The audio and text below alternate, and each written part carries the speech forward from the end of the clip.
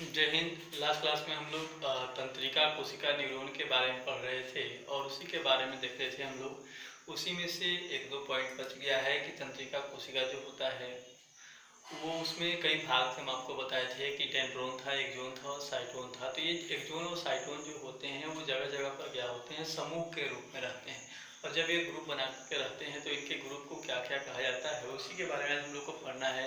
फिर उसके बारे में हम लोग केंद्रीय तंत्रिका तंत्र शुरू करेंगे। तो सबसे पहले बात आता है तंत्रिका। तंत्रिका क्या होता है? तंत्रिका नर्व बोलते हैं इसको अंग्रेज़ी में। नर्व क्या होता है? तो एक जोन, तंत्रिका कोशिका में जो साइटोन से निकलने वाले लंबे लंबे कोशिका थे, लंबे एवं बड़ा कोशिका जो था, उसको हम लोग एक जोन बोलते हैं उसको रफ में बना दें यहाँ पर। तो ये जो है वो एक जोन होगा, ये एक जोन है। ठीक है? और एक जोन का समूह समूह का मतलब कई एक जोन जो होते हैं, वो चारों ओर से संयोजी उत्तक के द्वारा घिरे हुए होते हैं तो उनके समूह को ही हम लोग क्या बोलते हैं? तंत्रिका बोलते हैं। ये जो ऊपर वाला, ये जो भाग है, इसको हम लोग साइटोन बोलेंगे। ठीक है? यहाँ पर समझिए क्या होता है तंत्रिका। ठीक है? एक जोन एक जोन कोशिकाओं का कोशिकाओं का ऐसा समूह समूह जो चारों ओर से संयोजी उत्तक द्वारा, ऐसा समूह जो चारों ओर से संयोजी उत्तक द्वारा घिरा होता है होता है, उसे तंत्रिका कहते हैं। क्या कहेंगे? तंत्रिका कहेंगे। सीधा सा ऐसे भी याद रख सकते हैं कि एक जोन के समूह को हम लोग क्या कहेंगे?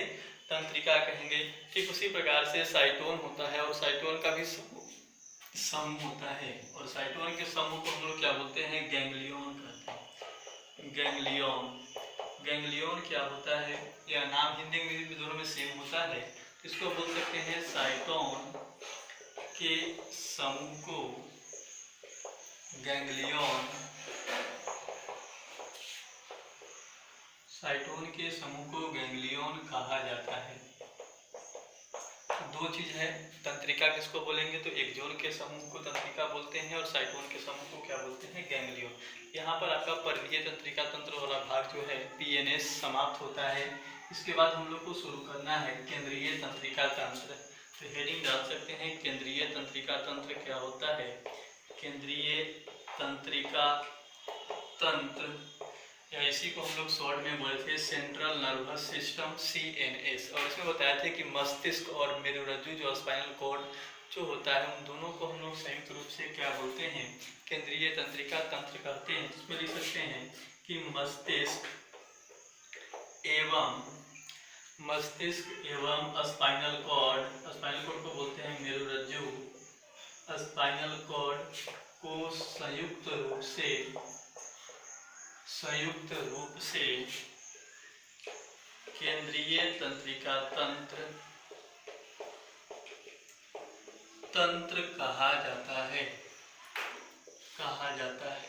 ठीक है, कहा मस्तिष्क और उससे संबंध जो मेरुरज्जु होता है, आपको बताते कि बैकबोन जो होता है वर्टिब्रल कॉलम उसके बीच में एक तंत्रिका उत्तक का बना हुआ छड़नुमा संरचना होता है। उस छड़नुमा संरचना को हम लोग क्या बोलेंगे? मेरुरज्जु बोलते हैं। और इन दोनों को सम्मिलित रूप से हम लोग क्या बोलते हैं? केंद्रीय तंत्रिका तंत्र। अब बारी बारी से हम लोग को मस्तिष्क और मेरुरज्जु के बारे में ही पढ़ना है। तो सबसे पहला हेडिंग आएगा मस्तिष्क। लिख सकते हैं यहाँ पर हेडिंग मस्तिष्क। मस्तिष्क या ब्रेन। ब्रेन क्या होता है? अगर हम लोग मस्तिष्क की बात करें तो मस्तिष्क जो होता है वो हमारे शरीर का, मानव शरीर का अत्यंत कोमल संरचना होता है, ठीक है? अगर ऊपर से देखते हैं, ये मस्तिष्क नहीं, ये तो खोपड़ी है। इसके अंदर कौन होता है? मस्तिष्क मौजूद होता है और ये क्या होता है? अत्यंत कोमल संरचना होता है, ठीक है? अगर हम लोग देखें, मस्तिष्क मस्तिष्क जो होता है, वो चारों ओर से क्या होता है? और खोपड़ी से घिरा हुआ होता है और इसके अंदर भी क्या होता है? एक संयोजी उत्तक का बना हुआ झिल्ली होता है, जिसको हम लोग क्या बोलते हैं? मेनेजिंज बोलते हैं। तो वो सब क्या होता है, उसको हम लोग डायग्राम के द्वारा क्या कर सकते हैं? समझेंगे, उसको छोड़ेंगे नहीं। इसमें लिख सकते हैं, मस्तिष्क। मस्तिष्क मानव शरीर का, मानव शरीर का अत्यंत कोमल संरचना है, जो खोपड़ी के अंदर, खोपड़ी को अंग्रेज़ी में हम लोग क्रेनियम कहते हैं।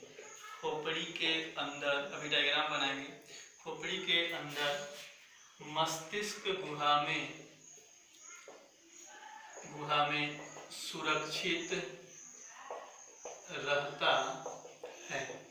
खोपड़ी के अंदर मस्तिष्क गुहा में सुरक्षित रहता है। ये जो खोपड़ी आपको दिखाई दे रहा है, इसी के अंदर आपका कौन क्या रखा हुआ होता है? मस्तिष्क रखा हुआ होता है, ब्रेन रखा हुआ होता है। नेक्स्ट लिख सकते हैं। मस्तिष्क चारों ओर से मस्तिष्क चारों ओर से संयोजी उत्तक के झिल्ली द्वारा, संयोजी उत्तक के झिल्ली द्वारा घिरा होता है।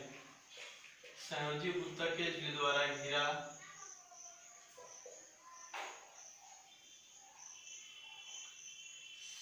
घिरा होता है, जिसे जिसे मैंने जींज कहते हैं। मैंने जींज कहते हैं सिर्फ़ मैनेजिंग ही नहीं होता है, हमारे मस्तिष्क के चारों ओर क्या होते हैं? तीन परतें होती हैं। उन तीन परतों के बारे में पढ़ेंगे, खोपड़ी के बारे में पढ़ेंगे और मैनेजिंग के बारे में। तो इसको पहले क्या कर लीजिए? नोट कर लीजिए। हेडिंग डालेंगे। मानव मस्तिष्क का अनुप्रस्थ काट।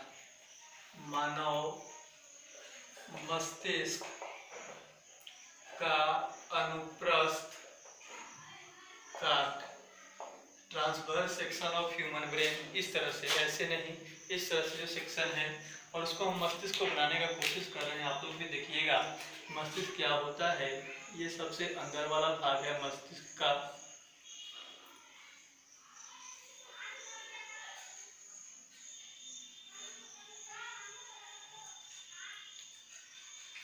इसके अंदर वाला ये जो खाली कैविटी होता है, इस कैविटी में इस प्रकार से यहाँ से इससे प्रवर्ध निकल के लगे हुए होते हैं।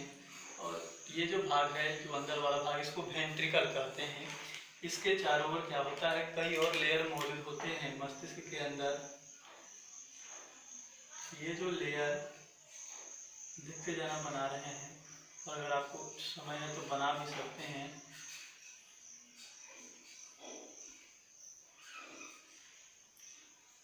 ये इस प्रकार से घिरा हुआ होता है।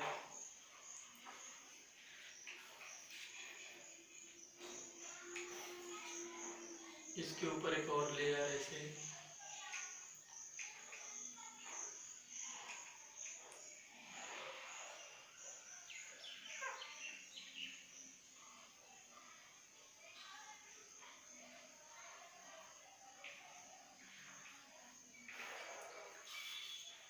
इसके बाद यहाँ पर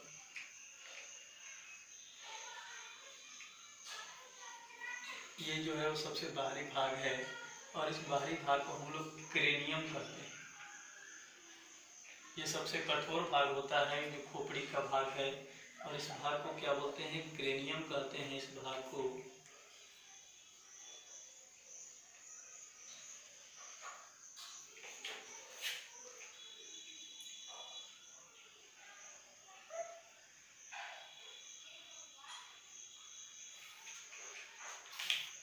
और इस क्रेनियम के नीचे क्या होता है? एक और परत होता है।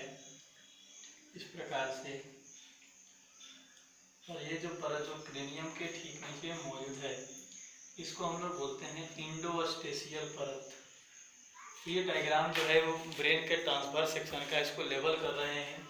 मानव मस्तिष्क जो होता है वो चारों ओर से सबसे कठोर एवं हार्ड आवरण द्वारा घिरा हुआ होता है।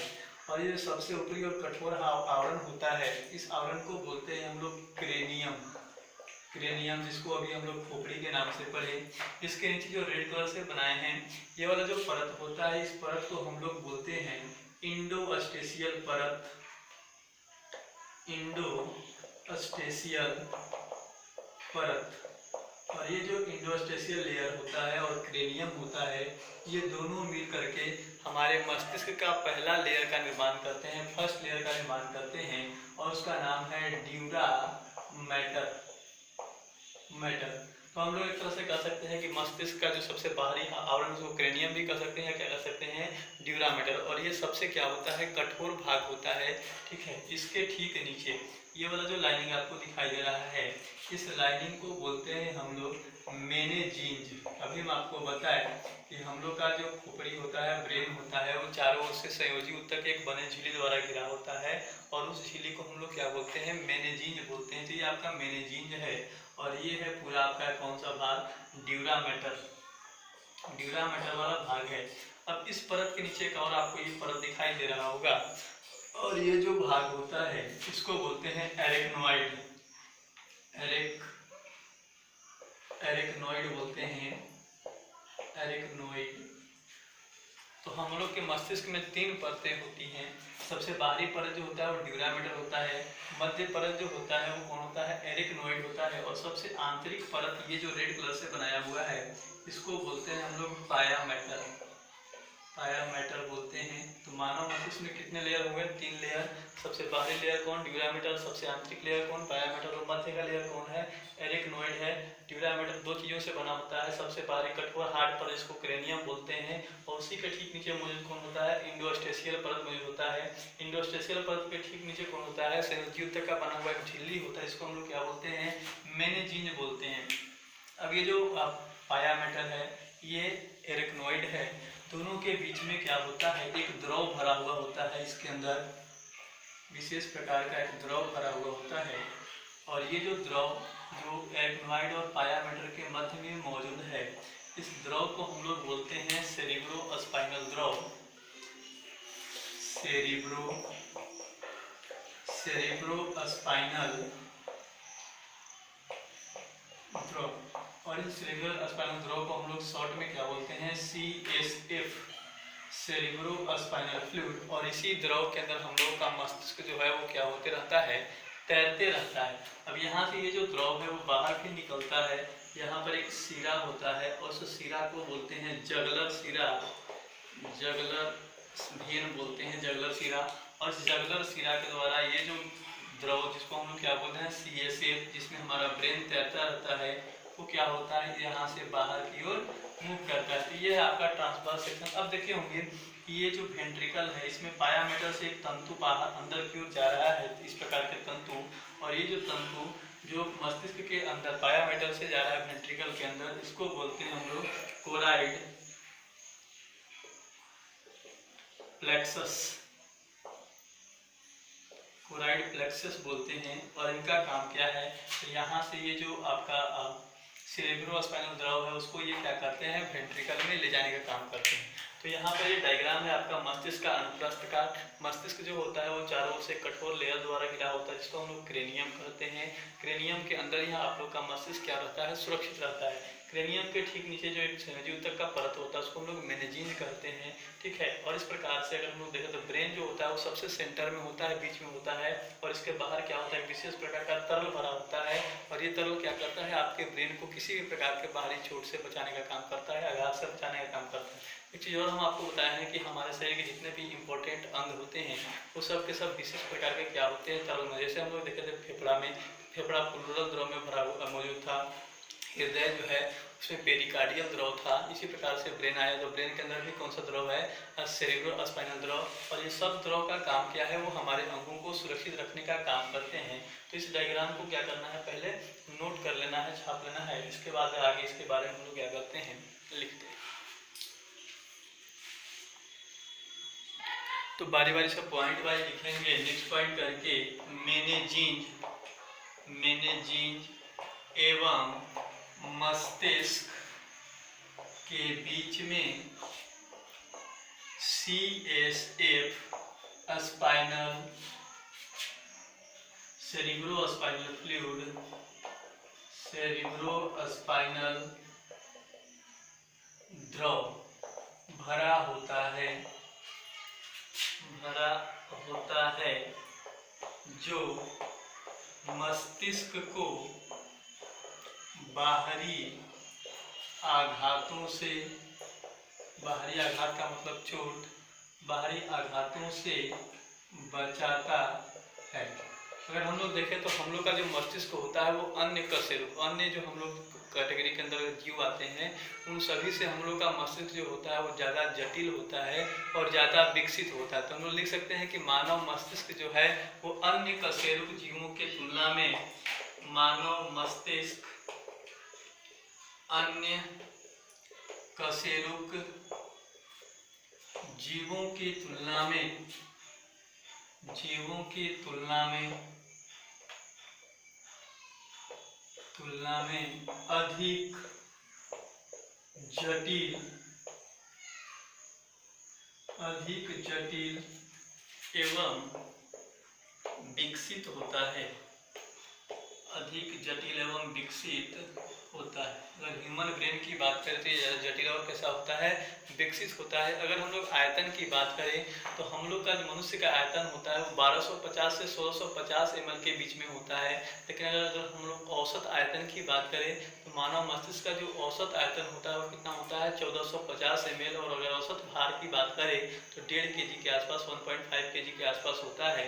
तो नेक्स्ट पॉइंट उसी के बारे में लिखेंगे। मानव मस्तिष्क मानव मस्तिष्क का औसत आयतन औसत आयतन 1450 ml एवं औसत भार 1.5 kg होता 1.5 kg होता है। अगर हम लोग मस्तिष्क के कार्य के बारे में बात करें तो हमारे शरीर के जितने भी कार्य होते हैं, चाहे वो वॉलेंट्री एक्शन हो ऐच्छिक क्रियाएँ हो या अनैच्छिक क्रियाएँ हो, जो क्रिया आपके द्वारा नियंत्रित होती है, उसको ऐच्छिक बोलते हैं और जिसको आप नियंत्रित नहीं कर सकते, उसको अनैच्छिक बोलते हैं। तो सभी प्रकार की क्रियाओं का नियंत्रण जो करता है, वो कौन करता है? आपका ये मस्तिष्क करता है। तो इसको आप क्या करिए, पहले नोट करिए, इसके बाद आगे बढ़ते हैं। अब आगे हम लोग देखते हैं मस्तिष्क के विभिन्न भाग। मस्तिष्क के विभिन्न भाग। मस्तिष्क के कौन कौन से भाग होते हैं? तो अगर हम लोग देखें तो मानव मस्तिष्क जो होता है, उसको मुख्य रूप से इसके तीन भाग होते हैं। ठीक है? इसको हम लोग फ्लो चार्ट में देख सकते हैं। मस्तिष्क। मस्तिष्क का जो मुख्य रूप से कितना भाग होता है? तीन भाग होता है। पहला जो भाग होता है, उसको बोलते हैं अग्र मस्तिष्क अग्र मस्तिष्क बोलते हैं तो इसी को फोर ब्रेन के नाम से भी जानते हैं इंग्लिश में सेकेंड जो भाग होता है, उसको मध्य मस्तिष्क कहते हैं। मध्य मस्तिष्क। और थर्ड जो भाग होता है, उसको बोलते हैं पश्च मस्तिष्क। पश्च मस्तिष्क।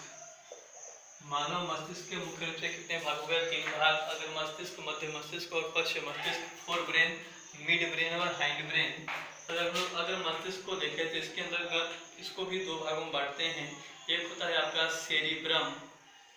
सेरिब्रम, जिसको हम लोग प्रमस्तिष्क कहते हैं। और दूसरा जो भाग होता है, उसको बोलते हैं डायन सेफेलॉन डायन सेफेलॉन ये डायन सेफेलॉन और जो सेरिब्रम होते हैं, ये दोनों मिलकर के अगर मस्तिष्क का निर्माण करते हैं। और ये आपके मस्तिष्क का सबसे बड़ा भाग होता है, जो सेरिब्रम होता है आपके मस्तिष्क का सबसे बड़ा भाग होता है। और इसके बाद बात करें मध्य मस्तिष्क। मध्य मस्तिष्क के टाइप अगर इसके डिवीज़न को आपको नहीं पढ़ना है, लेकिन इसके दो डिवीज़न होते हैं। एक होता है ऑप्टिक नर्व्स और ऑप्टिक और नर्व्स और दूसरा होता है क्रूरा सेरिब्रल जिसके बारे में जाना नहीं आपको सिर्फ़ यही जानना है कि ये मस्तिष्क का दूसरा भाग मध्य मस्तिष्क होता है। और पश्चिम मस्तिष्क जो होते हैं, इनको भी तीन भागों में हम लोग बांटते हैं। पहला जो भाग होता है, उसको बोलते हैं सेरिबेलम सेरिबेलम या इसको बोलते हैं अनुमस्तिष्क अनुमस्तिष्क इसके बाद दूसरा जो आता है उसको बोलते हैं पोन्स वेरोलाई। पोन्स वेरोलाई और थर्ड जो होता है उसको बोलते हैं मेडुला ओबलंगाटा। ओबलंगाटा। ये सेरिबेलम पोन्स और मेडुला जो होते हैं वो कौन से मस्तिष्क के भाग होते हैं पश्चिम मस्तिष्क।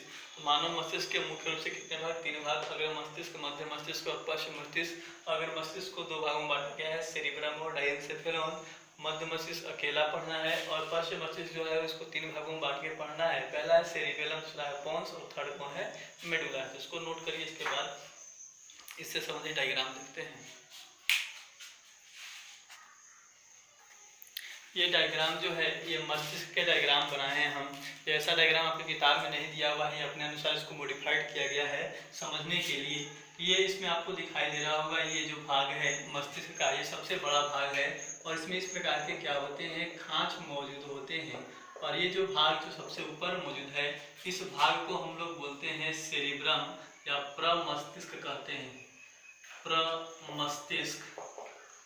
प्रमस्तिष्क जो होता है, ऊपर से दो भागों में बटा हुआ होता है। जब पढ़ेंगे हम तो समझेंगे। ऊपर से ये दो भागों में बटा होता है और उनको नीचे से दोनों जो प्रमस्तिष्क होते हैं, उसके दोनों भाग को नीचे से जोड़ने वाला ये जो संरचना होता है, इस संरचना को बोलते हैं कॉर्पस। कॉर्पस पोलेसम।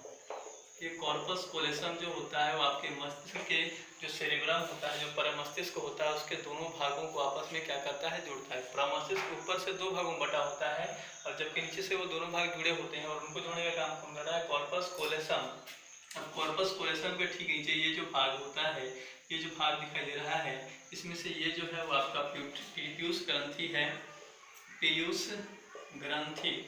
या पिट्यूटरी ग्लैंड और ये जो भाग है, इसको बोलते हैं हम लोग हाइपोथैलेमस हाइपोथैलेमस हाइपोथैलेमस और यहाँ पर ये जो भाग, ये इतना बनाया हुआ, ये सब के सब इसी के अंदर घुसे हुए होते हैं। हम इसको समझने के लिए बाहर निकाल दिए हैं। अगर हम बात कर ले ये प्रमस्तिष्क है तो प्रमस्तिष्क के बाकी जो भाग होते हैं, मस्तिष्क के, उनको ये प्रमस्तिष्क के चारों ओर से क्या किए हुए रहता है?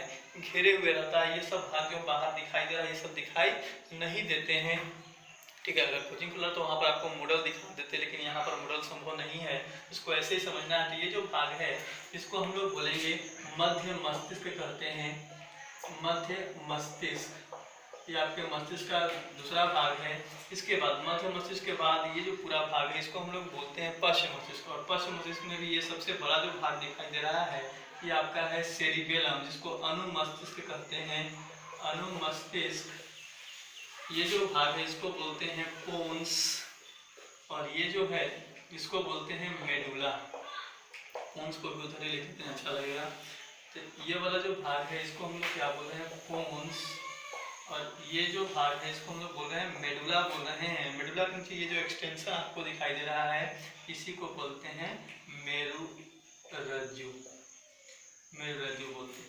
तो ये तीनों जो है अनुमस्तिष्क पोन्स और मेडुला ये तीनों मिलकर किसका निर्माण करते हैं? अनुमस्तिष्क का निर्माण करते हैं, जबकि यहाँ पर प्रमस्तिष्क तो मस्तिष्क जो है, ये अब समझना है। ये मस्तिष्क जो होता है, वो कुछ यहाँ तक स्ट्रक्चर होता है, सिर्फ़। ये सब नहीं दिखाई देता है उसमें ये सब जो होते हैं वो इसी के अंदर क्या होते हैं, घुसे हुए होते हैं, लेकिन हम आपको समझ में आने के लिए क्या कर दिए, इसको बाहर निकाल दिए हैं। इसको समझने का कोशिश करिएगा। मानव मस्तिष्क का जो सबसे बड़ा भाग होता है, वो कौन होता है? प्रमस्तिष्क होता है और ये दो भागों में क्या होता है? बटा होता है। ऊपर से दो भागों में बटा होता है और नीचे से दोनों भाग किसके द्वारा जुड़े होते हैं? कॉर्पस कोलेसम के द्वारा। परमस्तिष्क को देखना है इसमें कई छोटे बड़े क्या होते हैं? खांच मौजूद होते हैं और उस खाँच को हम लोग गायरस और सर्कस पढ़ेंगे आगे बोलते हैं।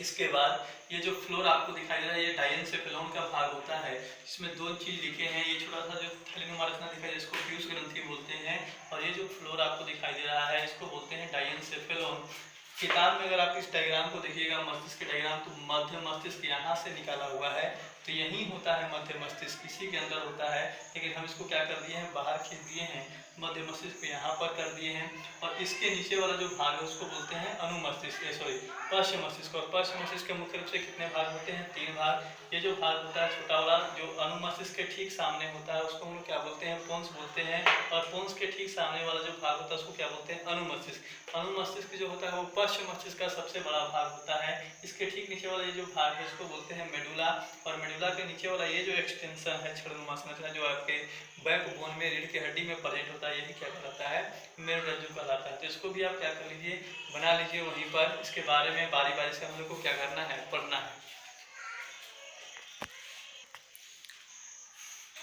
चलिए फिर इनके बारे में बारी बारी से अगले क्लास में पढ़ेंगे। ठीक है? लाइट आज कम है, आगे बढ़ते हैं इसके बारे में। अगले क्लास में, तब तक के लिए धन्यवाद।